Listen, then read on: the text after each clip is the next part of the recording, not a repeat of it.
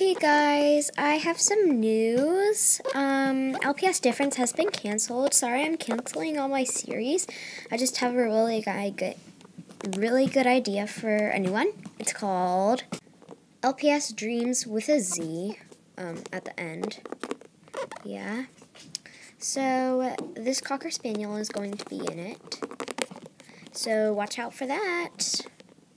Um, I'll make an intro very soon on my channel. So I hope you guys like my videos and have a really good day. Um, I'm going to be uploading a Harry Potter Jelly Bean taste test soon, probably tonight, but maybe not tonight. If it's not tonight, I apologize. It's just, I'm, it's 9 at night, so see you guys later. Bye.